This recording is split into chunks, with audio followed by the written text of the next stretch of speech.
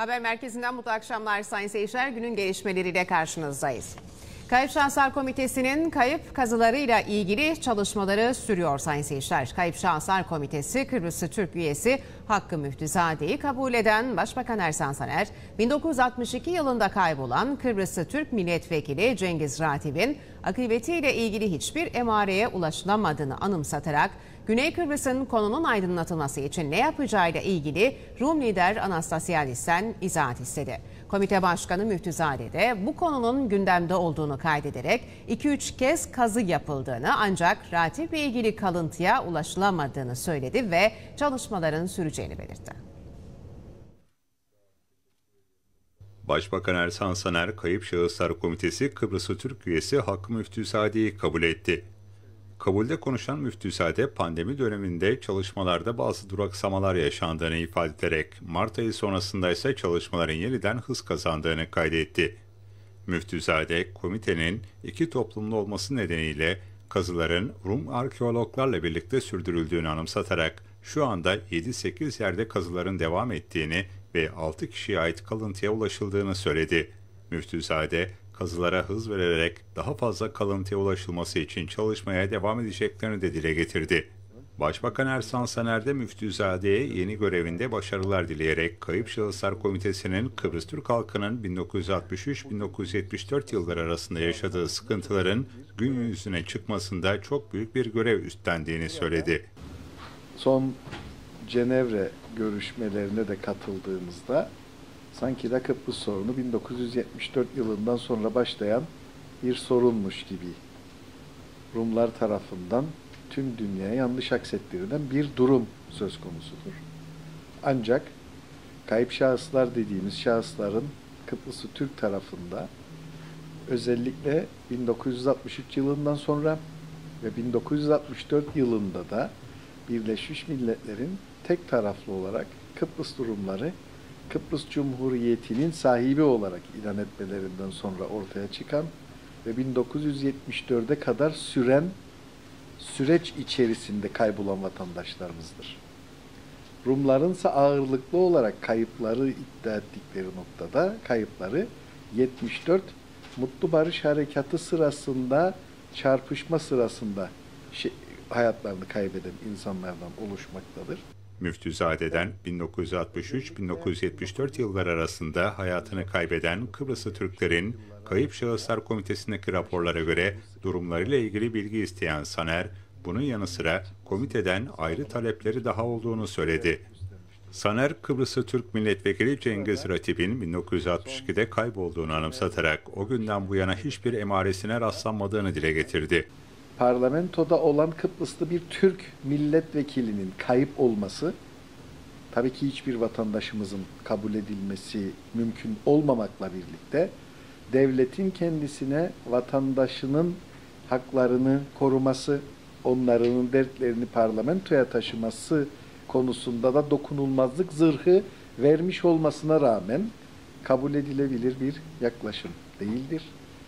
Bu çerçevede Kayıp Şahıslar Komitemizin de ivedi bir girişim yapmasını çünkü konunun bilhassa şahsım tarafından da AKPA toplantılarında İnsan Hakları, Avrupa İnsan Hakları Komiserine de genel kurulda sözlü olarak sormama rağmen, konuşma alıp sözlü olmama, almama rağmen bu konuda da tarafıma herhangi bir bilgi ulaşmamıştır. Kayıp Şahıslar Komitesi Türk üyesinin kayıp milletvekili konusunda özellikle girişim yapmasını arzu ettiğini ifade eden Başbakan Saner, inanıyorum ki bu konudaki çalışmalarınızın neticesini ileriki süreçte bizlerle paylaşarak durumun ne olduğunu tüm halkımızla paylaşabileceğiz dedi. Başbakan Ersan Saner kabulü sırasında Rum lider Nikos Anastasiades'e de çağrıda bulundu. Kayıp milletvekilimiz konusunda da özellikle bir girişim yapmanızı arzu ettiğimi ifade etmek istiyorum. Ve inanıyorum ki bu konudaki çalışmalarınızın neticesini bizlerle ileriki süreçte paylaşarak durumun ne olduğunu da tüm halkımızla bizleri de paylaşmak istiyoruz. Ama buradan da bir çağrı daha yapmak istiyorum. Özellikle Sayın Anastasiadis'e bir çağrı yapmak istiyorum.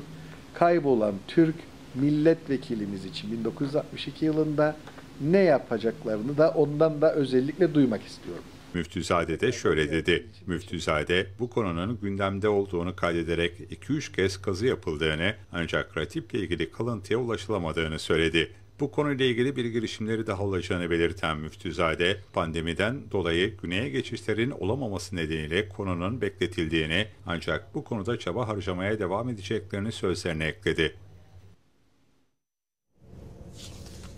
Ülke gündemindeki yerini koruyan erken genel seçim tarihi konusunda açıklamalar devam ediyor. Hükümet seçimin 3 Nisan 2022'de, muhalefet ise 29 Ağustos 2021'de yapılmasını istiyor. Hem hükümetin hem de muhalefetin erken genel seçim tarihine ilişkin önerilerinin ilgili komitede ivedilikle görüşülmesine ilişkin tezkereler Meclis Genel Kurulu'nda onaylanarak Hukuk ve Siyasi İşler Komitesi'nin gündemine alındı sayın seyirciler. Ancak komitede hükümette muhalefetin üçer milletvekiliyle temsil edilmesi karar almayı zorlaştırıyor. Cumhuriyet Meclisi Başkanı Önder Seneroğlu, gerekmesi halinde komitedeki temsiliyet sayılarının değiştirilebileceğini söyledi. Hukuk Siyasi İşler ve Dış İlişkiler Komitesi Başkanı Yasemin Öztürk ise Ulusal Birlik Partisi'nin komitedeki üye sayısının 4 olması gerektiğini belirtti. Belirlemiyor deyip devreye girebilir misiniz? Cumhuriyet Meclisi Başkanı Önder Sennaroğlu, BRT'de yayınlanan manşet artı programına katılarak erken genel seçim konusunda açıklamalarda bulundu. Sennaroğlu, pandemi koşulları, ekonomik koşullar ve bir milletvekilinin meclis aritmetiğinde etkili olmayacağı göz önünde bulundurulduğunda, ara seçim yapılmasının hiçbir siyasi parti tarafından istenmediğini kaydetti. Önder Sennaroğlu, seçim ve halk oylaması yasasına göre ara seçim yapılmayacaksa bir yıl içinde genel seçim yapılması gerektiğini vurguladı. Hükümet ve muhalefet partilerinin farklı erken genel seçim tarihleri ortaya koyduğunu anımsatan Sennaroğlu, her iki tarihin de ivedilikleri alınarak Hukuk ve Siyasi İşler Komitesi'ne gönderildiğini söyledi. Sennaroğlu bundan sonra nasıl bir yol izleneceğini de anlattı. Yani hükümet ya talepte bulunacak bu hoc komitenin oluşumuyla ilgili tekrar bir girişim yapılması gerekir veyahut e, başkanlık divanı toplanacak yine hükümetin talebi olması gerekir ve başkanlık divanında komitelerin sayısının yeniden belirlenmesi ve yeniden şekillenmesi gerekecek diye düşünüyorum. Ve ancak o şekilde bu sıkıntı aşılabilir. Veyahut komitede hükümet ve muhalefet ortak bir tarih belirleyebilirler. O şekilde de olabilir. Yani imkansız değildir ama artık o hükümet edenlerin ve muhalefet edenlerin ortak e, kararına bağlıdır. Hukuk, Siyasi İşler ve Dış İlişkiler Komitesi Başkanı, Ulusal Birlik Partisi Milletvekili Yasemin Öztürk de BRT'de katıldığı bir programda Siyasi İşler ve Dış İlişkiler Komitesi'nde Ulusal Birlik Partisi'nin dört temsiliyeti olması gerektiğini ve bunun için girişim yapacaklarını söyledi. Ana muhalefet Cumhuriyetçi Türk Partisi Genel Başkanı Tufan Erhürman, hükümetin erken seçim tarihiyle ilgili hiçbir girişimde bulunmadığını kaydederek uzatmaya oynarlarsa tepkimiz sertleşecek dedi. Manşet artıya konuşan Erhürman, anayasayı ihlal etme sürecinin başladığını savunarak hükümetin ortada bir sorun yokmuş gibi davrandığını belirtti ve eleştirilerde bulundu. Ana muhalefet Cumhuriyetçi Türk Partisi Genel Başkanı Tufan Erhürman, BRT'de katıldığı manşet artı programında erken seçim tarihinin belirlenmesine ilişkin değerlendirmelerde bulundu. Erhürman, erken seçim tarihiyle ilgili hükümetin hiçbir girişimde bulunmadığını dile getirerek, hükümeti ülkede sorun yokmuş gibi davranıp kulağının üzerine yatmakla eleştirdi. Dünyanın neresinde bir hükümet hükümet programına Ekim ayında seçime gideceğim diye yazar yetmez daha birinci, ikinci ayında meclis başkanını seçemedi diye hükümetin başı kürsüye çıkar ve daha da önce seçim yapalım, muhalefet seçim tarihi belirlesin der.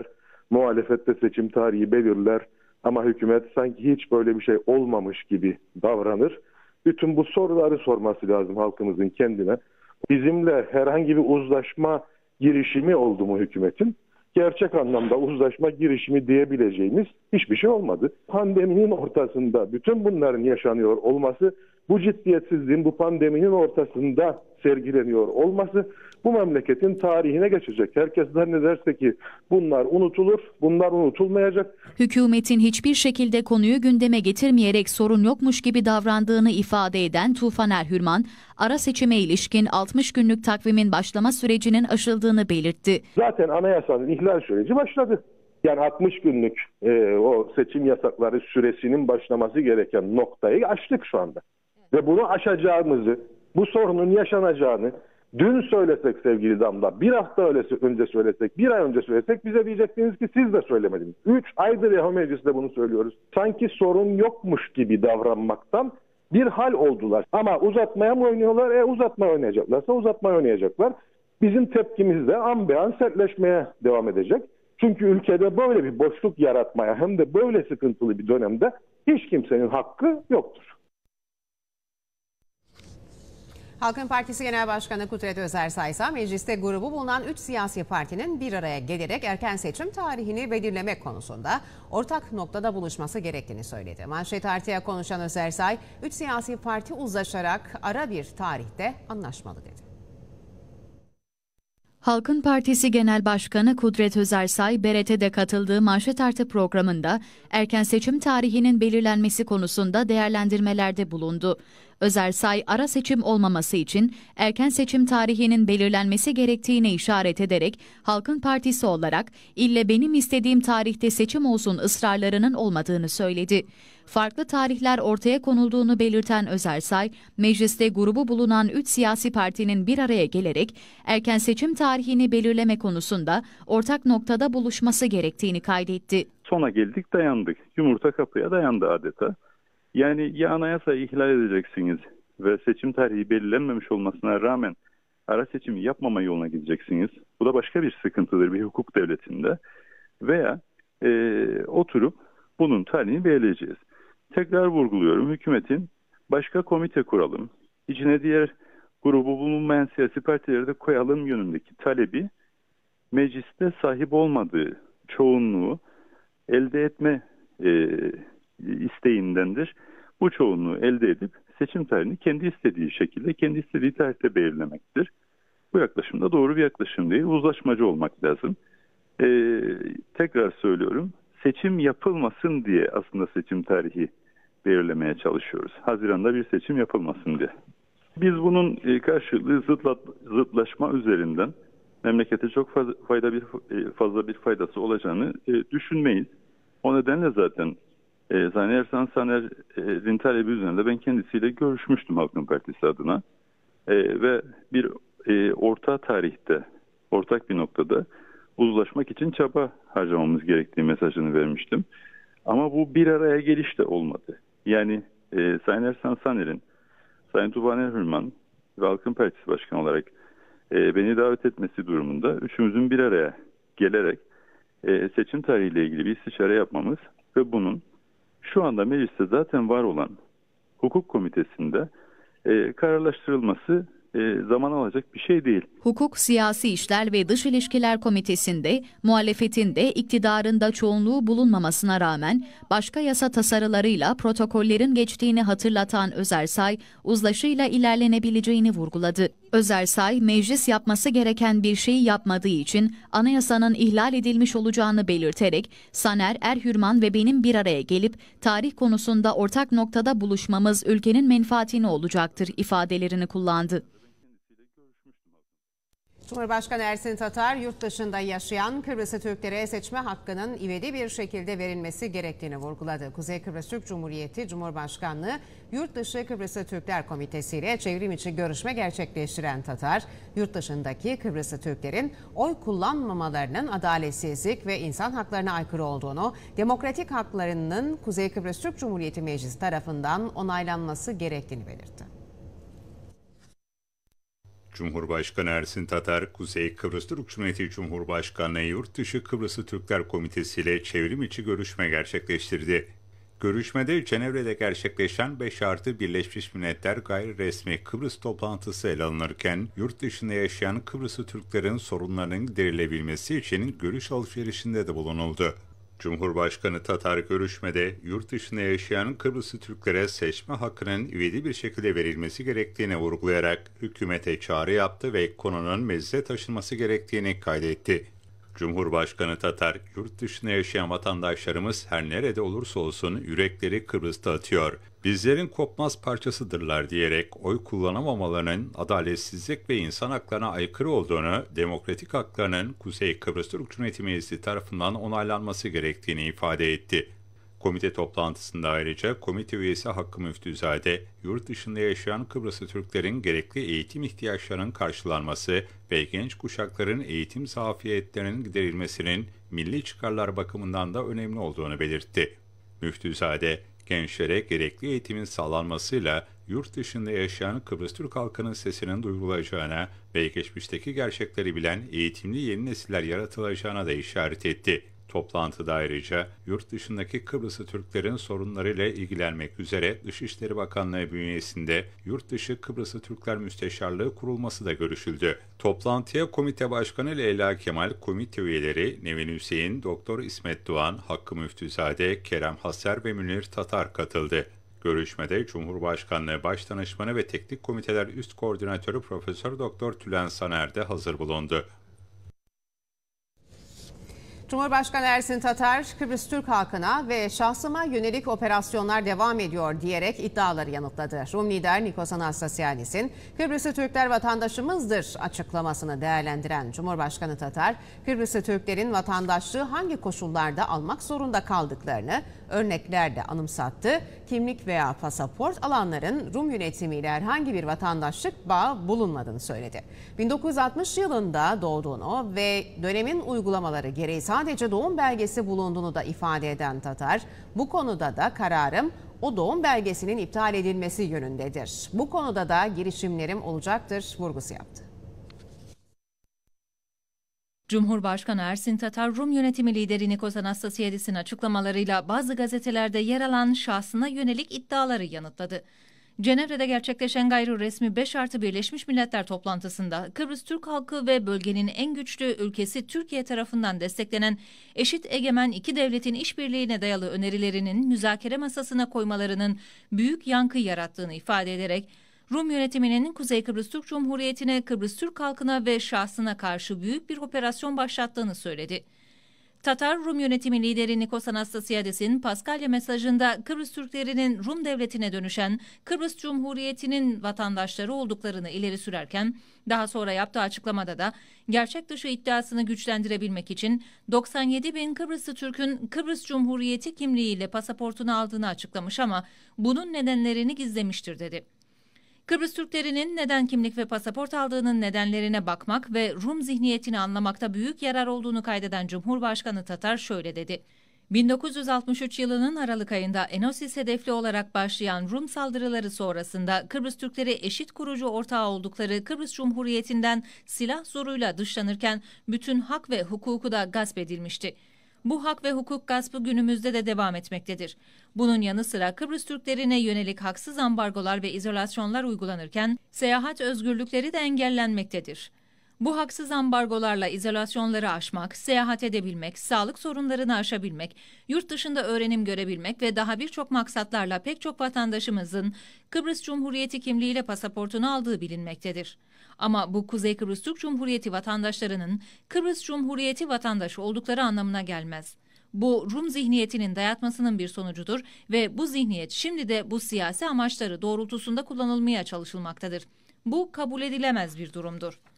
Kıbrıs Cumhuriyeti kimliği veya pasaportu alanların Rum yönetimiyle herhangi bir vatandaşlık bağı olmadığını, bu kişilerin Kuzey Kıbrıs Türk Cumhuriyeti'nde yaşadığını, vatandaşlık görevlerini Kuzey Kıbrıs Türk Cumhuriyeti Devleti'ne karşı yerine getirdiklerini anımsatan Cumhurbaşkanı Tatar, bu nedenle de Anastasiadis'in Kıbrıslı Türkler bizim vatandaşlarımızdır açıklamasının hiçbir değeri olmadığını vurguladı. Kuzey Kıbrıs Türk Cumhuriyeti'nde yayınlanan bazı gazetelerle Rum gazetelerin eş zamanlı olarak kendisinin Kıbrıs Cumhuriyeti pasaportu kullandığını ileri sürerek bazı haberler üretildiğini ifade eden Cumhurbaşkanı, bu haberlerin nerelerde üretilip nasıl servis edildiği de bilgimizdedir. İleri sürülen bu haberler yeni değildir. Bu konuda ilk haber 2010 yılında yapılan Cumhurbaşkanlığı seçimi sürecinde Ulusal Birlik Partisi'nin Cumhurbaşkanı adayını engellemek için yapılmış şahsım ve Ulusal Birlik Partisi'nin bütün bakanların Kıbrıs Cumhuriyeti pasaportu kullandıkları ileri sürülmüştü. Şimdi de Kıbrıs konusunun kritik aşamasında Rum gazeteleriyle eş zamanlı olarak bu haberlerin yapılması oldukça dikkat çekicidir dedi. Tatar 1960 yılında doğan bir kişi olarak diğer herkes gibi o dönemin yasal uygulamaları gereğince Kıbrıs Cumhuriyeti doğum belgesine sahip olmasının doğal olduğunu ifade ederek doğal olmayansa bunu kullanarak şahsım yıpratılmak istenmesidir. Bu konuda da kararım o doğum belgesinin iptal edilmesi yönündedir. Bu konuda da girişimlerim olacaktır vurgusu yaptı. Tatar bu tür haberleri üretenlere çağrımsa eğer Kıbrıs Cumhuriyeti pasaportum varsa ve bu pasaportu en son ne zaman ve nerede kullandığımı ortaya koymalarıdır dedi.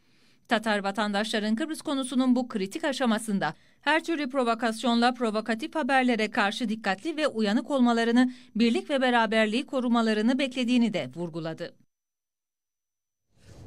Türkiye Milli Savunma Bakanı Hulusi Akar, Kıbrıs'a iki devletli bir yapının şart olduğuna bir kez daha dikkati çekti. Akar, Kıbrıs'ın Türkiye için milli dava olduğunun da altını çizdi. Türkiye Milli Savunma Bakanı Hulusi Akar, beraberindeki komutanlarla Gölcük Donanma Komutanlığı'nda denetleme ve incelemelerde bulundu. Burada personele hitap eden Akar, Yunanistan'la ilişkilere de değindi. Biz gerçekten diyalog istiyoruz. Gerçekten sorunlarımızda görüşerek siyasal çözümler bulmak istiyoruz. Bu konuda yapılması gereken ne varsa uluslararası hukuk, teamüller, iyi komşuluk ilişkileri bunların çerçevesinde buradaki soruna gidermek istiyoruz. Fakat maalesef biz ne kadar iyi niyetli yaklaşırsak yaklaşalım e, Yunanlı komşularımız olayları tırmandırmakta, gerilimi arttırmakta, tahrikkar ve tehditkar bir dil kullanmakta ve fakat maalesef bununla bir yere varamayacaklarını da anlayamayacak kadar hata içindeler. Yani bize karşı, Türkiye'ye karşı, bu millete, bu devlete karşı bu tehdit diliyle, bu tehditkar konuşmalarla, olayları tırmandırmakla bir yere varamayacaklarını anlamalarını bekliyoruz. Bizim temennimiz, e, dileğimiz bu arkadaşlarım. Ve nitekim bu duruşumuzla Tabii başta deniz kuvvetlerimiz olmak üzere bu alandaki, arazideki yani Ege'deki, Doğu Akdeniz'deki ve Kıbrıs ve civarındaki duruşumuzla sonuç olarak bu siyasal çözüm arayışlarının yolunu açtığımıza inanıyoruz. Türkiye'nin kimsenin toprağında, suyunda, hak ve hukukunda gözünün olmadığını belirten Akar, herkesin tek zerre dahi hakkımızı çiğnetmeyeceğimizi de çok iyi bilmesi lazım. Bizim diyalogla bu sorunları çözelim dememiz herhangi bir şekilde zafiyet olarak algılanmamalı. Bu bir zafiyet değil. İki komşu arasında dostane bir şekilde yaşamanın yollarını konuşuyoruz dedi. Türkiye Milli Savunma Bakanı Akar, Kıbrıs'ın Türkiye'nin milli davası olduğunu da vurgulayarak adada iki devletli bir yapının artık şart olduğunu söyledi. Tarım ve Doğa Kaynaklar Bakanı Nazım Çavuşoğlu tarımsal sulamak konusunda Ankara'da temaslarda bulundu sayın seyirciler. Bakan Çavuşoğlu bu çerçevede Türkiye Cumhurbaşkanı Yardımcısı ve Tarım Bakanı ile bir araya geldi. Tarım ve Doğa Kaynaklar Bakanı Nazım Çavuşoğlu temaslarda bulundu dedik. Bakan Çavuşoğlu temasları çerçevesinde bugün Türkiye Cumhurbaşkanı Yardımcısı Fuat Oktay ve Türkiye ve Tarım ve Orman Bakanı Bekir Pakdemirli ile bir araya geldi. Görüşmede Kuzey Kıbrıs Türk Cumhuriyeti Su Temin Projesi kapsamında iletim tüneli, Güzelyurt ve Meserya Ovaları sulama çalışmalarıyla hali hazırda devam eden ve biten projelere ilişkin konular ele alındı. Bakan Çavuşoğlu'nun bu akşam saatlerinde ülkeye dönmesi bekleniyor. İstatistik Kurumu Nisan ayında enflasyon oranını açıkladı. Tüketici fiyatları genel endeksi verilerine göre Nisan ayında bir önceki aya göre %1.94'lük bir artış yaşandı. Kuzey Kıbrıs Türk Cumhuriyeti'nde Nisan ayında enflasyon %1.94 arttı. İstatistik Kurumu Başkanı Türel Özer Öksüzoğlu'nun yaptığı açıklamaya göre İstatistik Kurumu'nun tüketici fiyatlarındaki gelişmeleri izlemek amacıyla önceden seçilmiş perakende satış yerlerinden derlediği perakende fiyatlara göre her ay yayınladığı tüketici fiyatları genel endeksinde bir önceki aya göre %1.94, bir önceki yılın Aralık ayına göre %3.84 ve bir önceki yılın aynı ayına göre %16.45 değişim gerçekleşti. Ana harcama grupları itibarıyla bir önceki aya göre en yüksek artış %6.67 ile giyim ve ayakkabı ana grubunda gerçekleşti. Bir önceki aya göre endekste kapsanan 330 maddenin ortalama fiyatlarında artış, 88 maddenin ortalama fiyatlarında ise düşüş gerçekleşti. En yüksek fiyat artışı gösteren ilk 3 mal, %300 sabit telefon görüşme ücreti, yurt dışı, %140 sabit telefon görüşme ücreti, sabitten cep telefonunu arama ve %100 piyango bileti Türkiye Cumhuriyeti oldu. En yüksek fiyat düşüşü gösteren ilk 3 malsa %100'le sabit telefon görüşme ücreti, yurt içi, %47.49'la çiçek lahanası ve %40.60'la taze bakla oldu. Kamuda yaz mesaisi 10 Mayıs'ta başlıyor. Elzem hizmetler dışındaki kurumlarda Perşembe dışındaki günlerde 8-14.30, Perşembe günleri ise 8-12.30 ve 13-17.30 arasında mesai yapılacak. Kamu sağlık servislerinde mesai saatleri haftanın 5 günü 7.45-14.45 olacak. Kamu iş yerlerinde yaz mesaisi 10 Mayıs pazartesi günü başlıyor. Resmi gazetede yayınlanan kamuda yaz mesai saatlerinin düzenlenmesi başlıklı Bakanlar Kurulu kararına göre yaz mesaisi 19 Eylül'e kadar sürecek. Günü 24 saatinde süreklilik gösteren ve elzem olan hizmetler dışında kalan kurumlarda pazartesi, salı, çarşamba, cuma günleri 8-14.30, perşembe günleri ise 8-12.30 ve yarım saatlik aranın ardından 13-17.30 saatler arasında mesai yapılacak vardiya ve rotasyon şeklinde çalışan kamu görevlileriyle kamu sağlık çalışanlarının çalışma saatleri haftalık 35 saati aşmamak üzere kurumları tarafından düzenlenecek. Cumartesi ve pazar günleri ise tatil olacak. Resmi gazetede yer alan Bakanlar Kurulu kararlarına ilişkin haberle devam edelim şimdi sayın seyirciler. Buna göre denetimlerde standardı artırmayı da hedefleyen çevre denetim tüzüğü yürürlüğe girdi. Öğretmenlerin yer değiştirmeleri ve zorunlu taşımacılıkla ilgili tüzüklerde de değişiklik, yapıldı. Resmi gazetede yayımlanan taşımacılıkla ilgili tüzüğe göre turistik taşımacıların her birine 7500'er Türk lirası katkı yapılıyor. Çevre yasası altında hazırlanan çevre denetim tüzüğü resmi gazetede yayınlanarak yürürlüğe girdi. Tüzük Çevre Koruma Dairesi'nin gerçekleştirdiği çevre denetimlerinin standartını yükseltmeyi, yapılan çevre denetimlerinin halkla paylaşımını sağlamayı ve denetim planı hazırlayarak çevre denetimlerini belli bir program çerçevesinde gerçekleştirerek işletmelerin çevre kurallarına daha iyi uymasını sağlamaya amaçlıyor. Öğretmenlerin yer değiştirmeleri değişiklik tüzüğüyle zorunlu taşımacılık değişiklik tüzüğü de Bakanlar Kurulu'nda onaylanarak resmi gazetede yayımlandı. Bakanlar Kurulu 2019 ve 2020 yıllarında turistik taşıma izinlerini yenilemiş ve aktif olarak turizm taşımacılığı yapan Kamu Araçları İşletmeciler Derneği Kariş'te Kıbrıs Türk Toplu Taşımacılar Birliği üyesi 237 kişiye toplam 1 milyon 777 bin 500 Türk lirası katkı yapılmasını onayladı. Şoförlerin her birine 7500 Türk lirası verilecek. Söz konusu ödeme Turizm ve Çevre Bakanlığı 2021 mali yılı bütçesi altında yer alan Turizm Geliştirme ve Tanıtma Fonu altında yeni ihtas edilen hizmet sektörüne yapılan transferler kaleminden karşılanacak.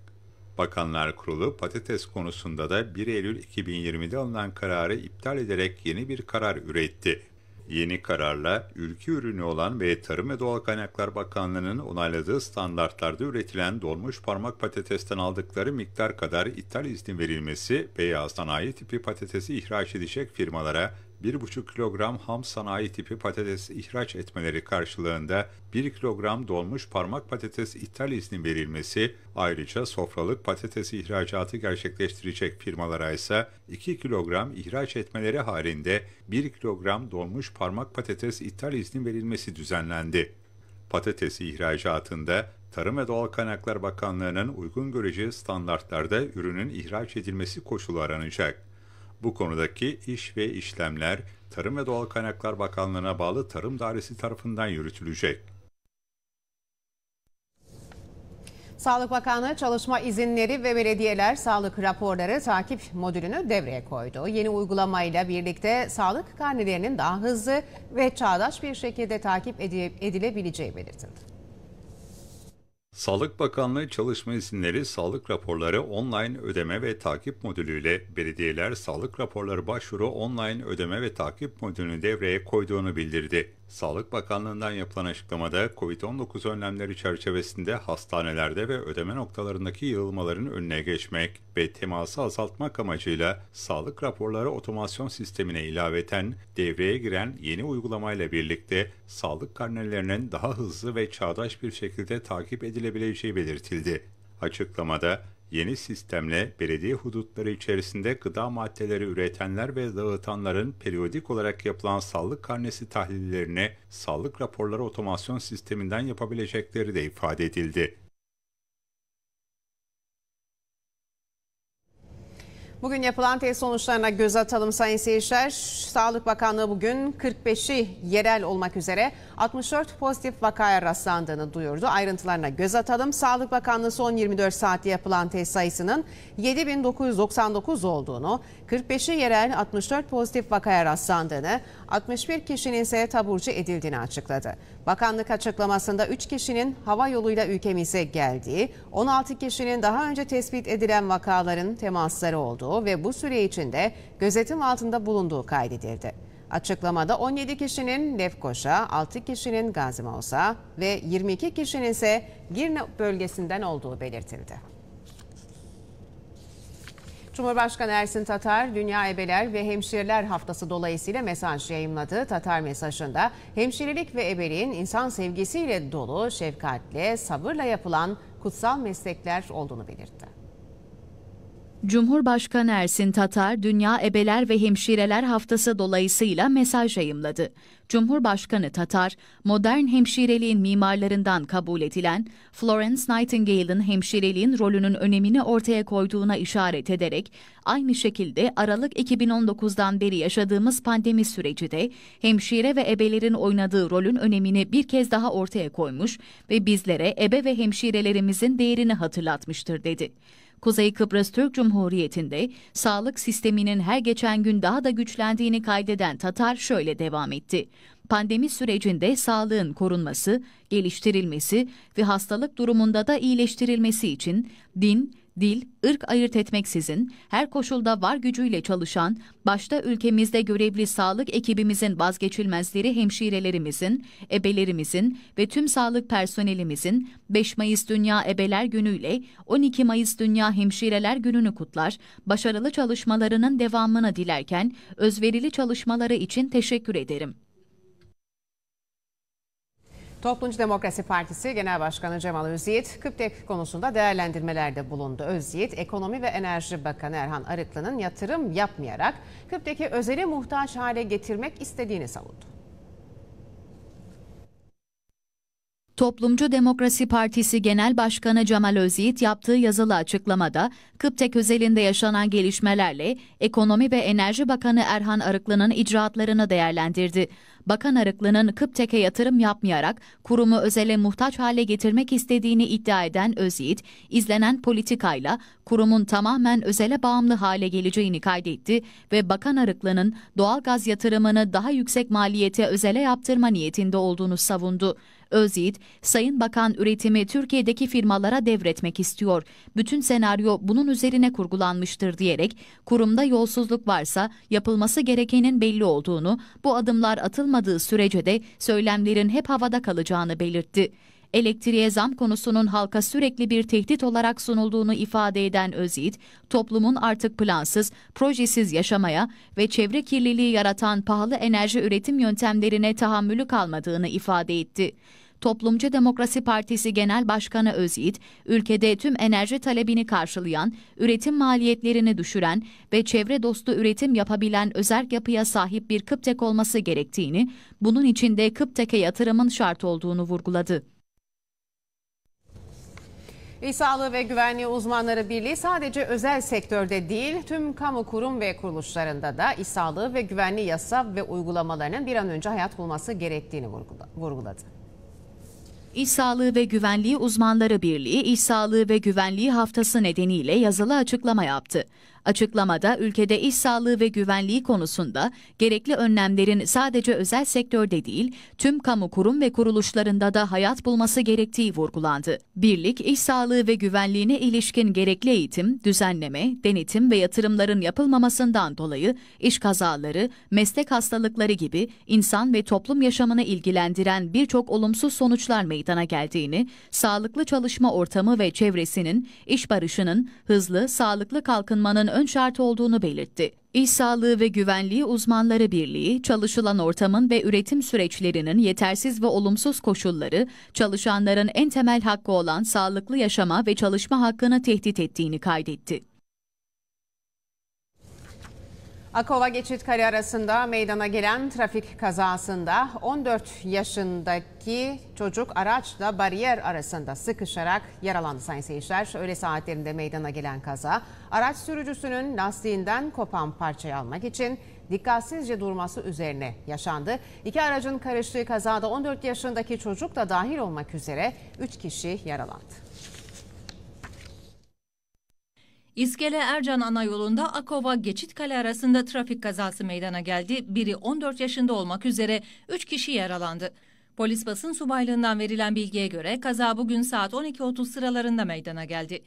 58 yaşındaki Niyazi Boransel yönetimindeki arkasında hayvan nakil aracı bulunan GD 068 plakalı araçla Geçitkale istikametine doğru seyrettiği sırada sol arka lastiğinden kopan parçayı almak üzere yol içerisinde durdu. Bu sırada aynı istikamete doğru seyreden 56 yaşındaki Mehmet Uysal yönetimindeki GH 439 plakalı kamyon hayvan nakil aracının arka kısmına çarptı.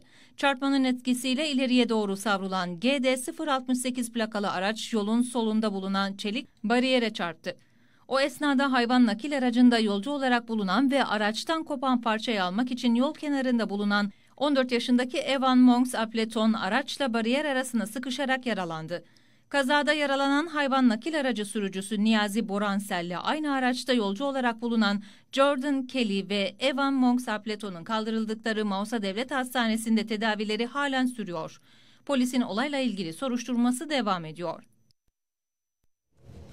Türk İşbirliği ve Koordinasyon Ajansı Başkanlığı TİKA, Kuzey Kıbrıs Türk Cumhuriyeti genelinde ihtiyaç sahiplerine 2000 hijyen ve kişisel koruyucu malzemelerden oluşan paket desteği verdi.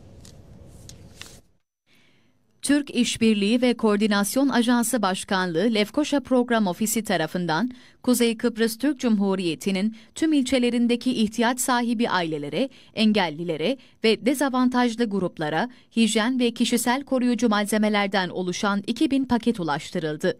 Lefkoşa, Girne, Gazi Mausa, İskele, Güzelyurt ve Lefke'de belediyeler ve sivil toplum kuruluşlarının işbirliğiyle dağıtılan paketlerde ihtiyaç sahiplerine 200 bin maske, 4 bin paket kolonyalı mendil, 6 bin litre dezenfektan, antiseptik, kolonya ve sıvı sabun teslim edildi. TİKA Lefkoşa Program Koordinatörü Havva Pınar Özcan Küçükçavuş, TİKA'nın 5 kıtada yaptığı geleneksel Ramazan ayı faaliyetleri kapsamında 2020'de Kuzey Kıbrıs Türk Cumhuriyeti'nde 1000 aileye 25 ton gıda paketi dağıtıldığını, bu yılsa artan vakalar nedeniyle hijyen ve kişisel koruyucu malzemelerden oluşan paketlerin tercih edildiğini belirtti.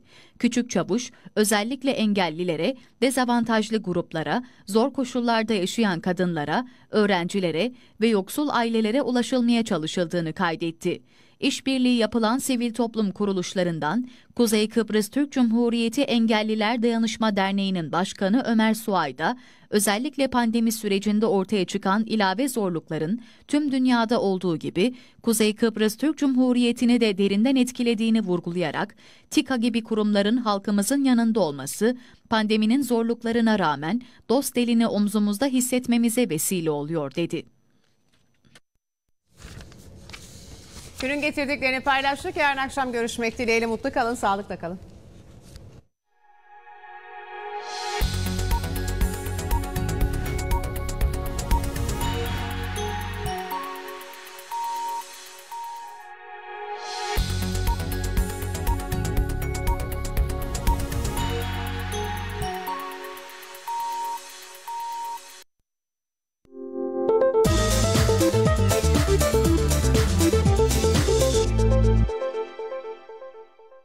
Kıbrıs Türk Futbol Federasyonu Başkanı Hasan Sertoğlu açıklamalarda bulundu. Sertoğlu, Başkan adayı Tekin Bilinci'nin spor dairesine yaptığı başvurunun kabul edilmediğini açıkladı.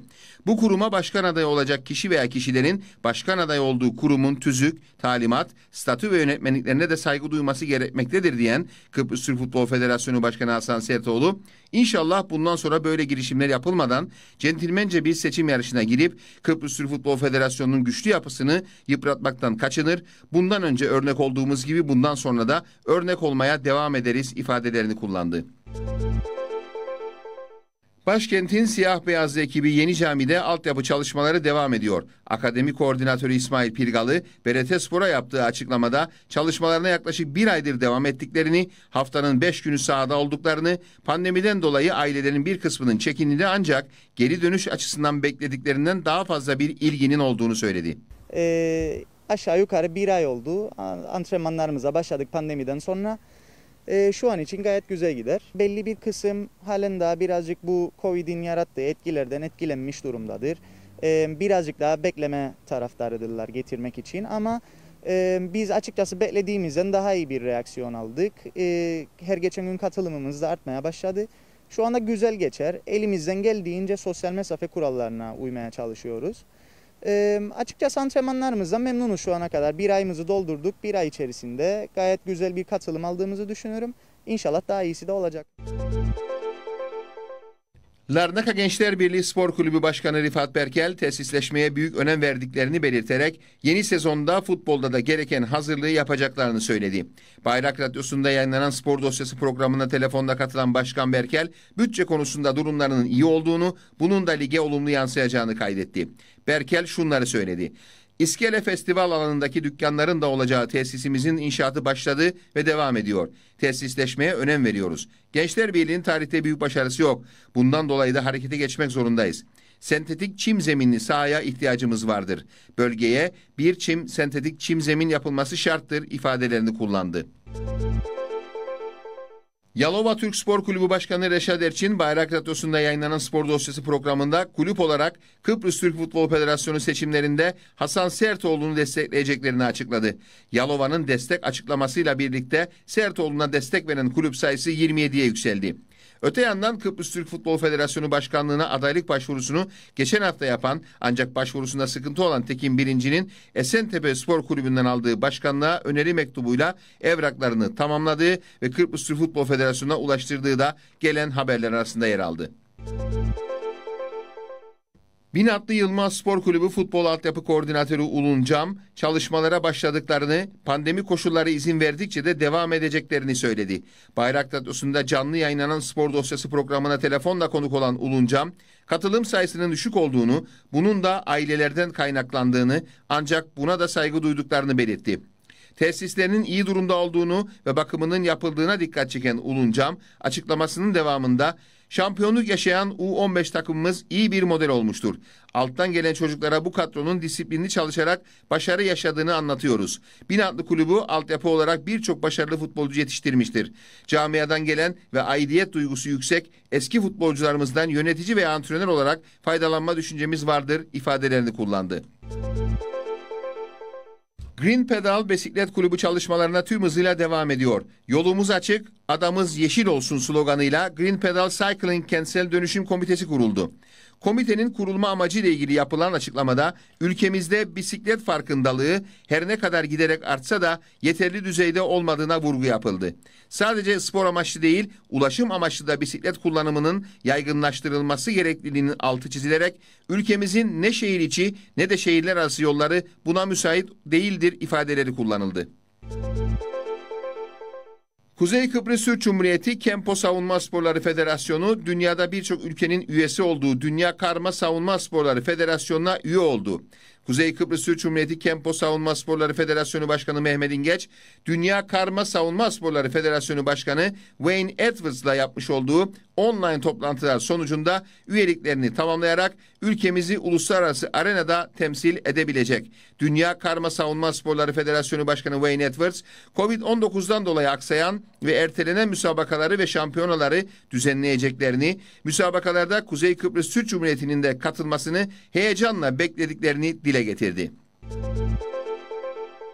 Badminton Federasyonu 7 Mayıs Cuma akşamı antrenör ve sporculara yönelik seminer düzenleyecek. Türkiye Badminton Federasyonu Eğitim Kurulu Başkanı Öğretim Görevlisi Zafer Şahin ile Türkiye Badminton Federasyonu Bilim Kurulu Başkanı Doçent Doktor Veli Volkan Gürses tarafından verilecek olan seminer Zoom programı üzerinden gerçekleştirilecek.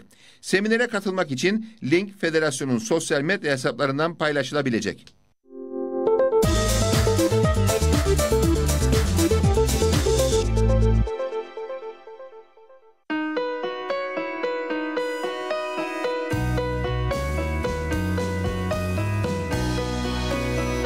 Güçlü markaların buluştuğu adres Toros hava durumunu sunar.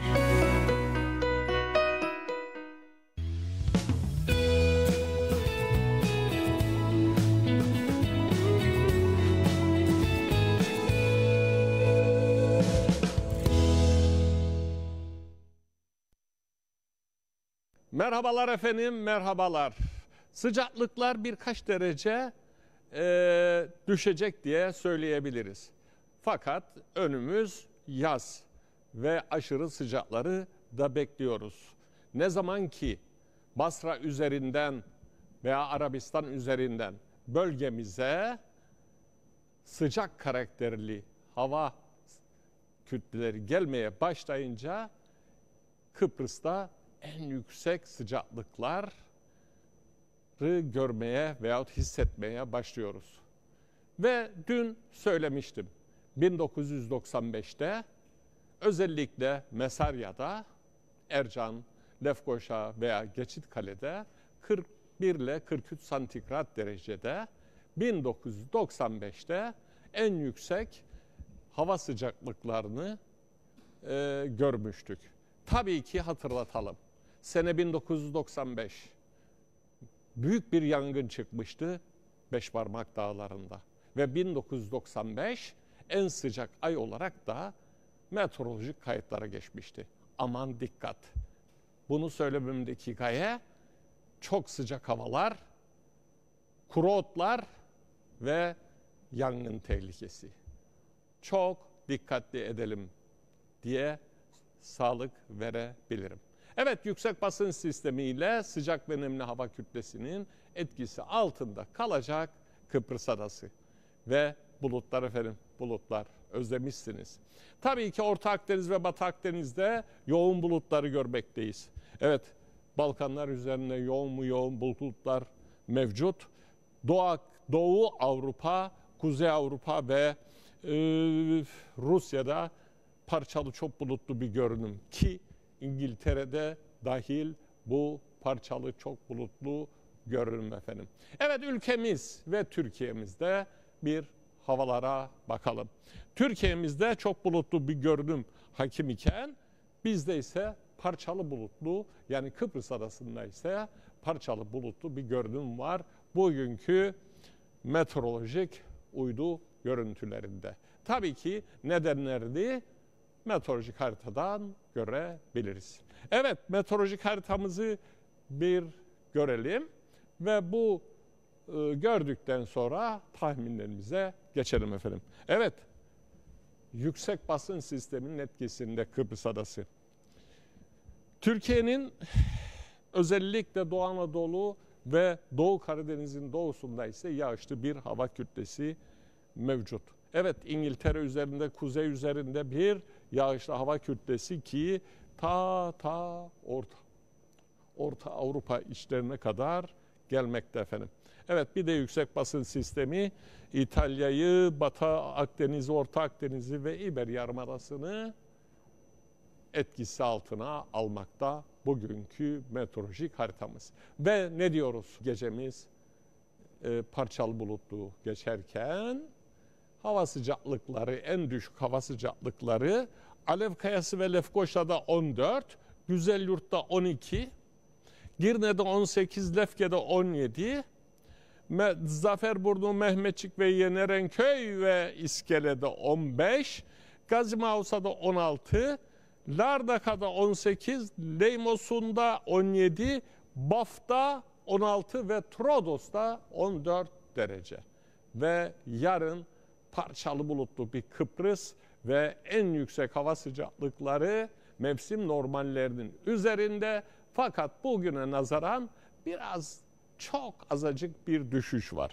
Nitekim Lefkoşa bugün 34 vermiştik. Yarın için Lefkoşa'ya 33 santigrat derece veriyoruz.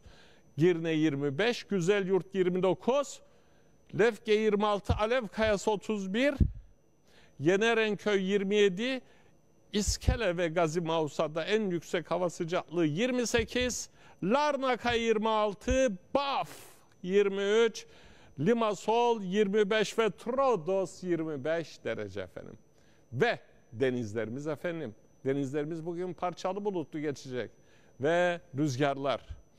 Kuzey sahildeki denizlerimizde rüzgar 3 ile 4. Doğu, güney ve batı sahillerimizde ise 3 ile 5 kuvvetinde. Nereden esiyor efendim? Kıbleden ve gün batısından, güneyden ve batıdan esiyor. Hafif yer yer orta dalgalı 1 ile 2 metre yüksekliğinde bir deniz bekliyoruz. Tabii ki yaz mevsimi açıldı. Deniz suyunun sıcaklığını soruyorsunuz. Girne gemi konağı 22 derece. Gazimausa, e, Leymos'un ve Baf'ta ise 21 derece efendim.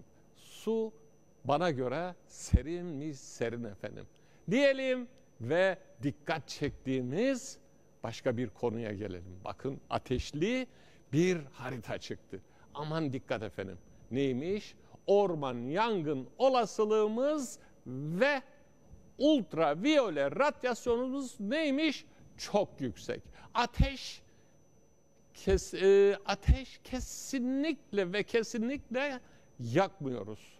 Ve 10 dakikadan fazla nerede durmuyoruz? Güneş altında durmuyoruz efendim. Ve hızlı bir girişle Türkiye'mde hava diyorum efendim. Ve bakıyorum Erzurum ve Van'a bakıyorum efendim. Doğu Anadolu'ya bakıyorum. Gök gürültülü sağanak yağmur bekliyorum. Erzurum 13 derece. 17 derece de Van'da efendim. Bir baktım mı diğer seçtiğim şehirlerde hava parçalı bulutlu geçecek. Ve Samsun 16, İstanbul 23, İzmir 28, Ankara 24, Antalya 25, Adana 30, Hatay 28, Gaziantep 30, Diyarbakır 29 derece efendim. Bugün en yüksek hava sıcaklıkları. Ve Londra'da hava. Londra'da hava yağmurlu efendim yağmurlu ve en yüksek hava sıcaklığı 12 derece. Edinburgh yağmurlu 10, Dublin yağmurlu 11 derece. Ve Lisbon ve Madrid'e iniyoruz. Ve bugün Lisbon'da havanın parçalı az bulutlu ve 23 dereceye kadar sıcaklığının çıkacağını düşünüyorum. Madrid'de ise çok bulutlu 24 derece. Ve Berlin'e uz uzanıyorum. Berlin bugün yağmurlu 13 derece. Frankfurt, Köln, Brüksel, Paris ve Amsterdam'da hava da çok bulutlu ve yer yer yağmurlu geçecek. Berlin ve Frankfurt 13 derece. Köln 12, Amsterdam 10, Brüksel 11 ve Paris 14 derece. Ve Roma. Roma'da bugün hava çok bulutlu 20 derece. Dubrovnik parçalı bulutlu 18, Budapeşte çok bulutlu 22, Viyana yağmurlu 22 derece efendim. Evet Atina bugün açık ve az bulutlu 26 derece. Üsküp, Sofya'da hava yağmurlu. Üsküp 24, Sofya 23 ve Bükreş parçalı az bulutlu 21 derece. Ve Moskova'da hava bugün yağmurlu 14 derece. Helsinki yağmurlu 10, Oslo yağmurlu 6 derece. Ve Frauenlar kenti yanıyor efendim yanıyor. 41 derece bugün sıcaklığı. ve parçalı bulutlu. Tel Aviv parçalı bulutlu 28, Beyrut parçalı bulutlu 26 derece. Ve Tunus bugün sağanak, bir ara öğle saatlerinde gök gürültülü sağanak yağmurlu 20 derece. Cezayir ise parçalı az bulutlu ve 21 derece. Evet efendim unutmadığımız bir şey yok. Toz zerrecikleri hükmünü sürdürüyor. İki gün daha toz zerrecikleri etkili olacak. Burada ne diyorduk? Astım olanlar, kalp rahatsızlığı olanlar ve çocuklar genellikle sokağa çıkmasınlar. Ve ikincisi ve önemlisi ateş yapmıyorduk. Ve bir de güneş altında 10 dakikadan fazla durmuyorduk efendim.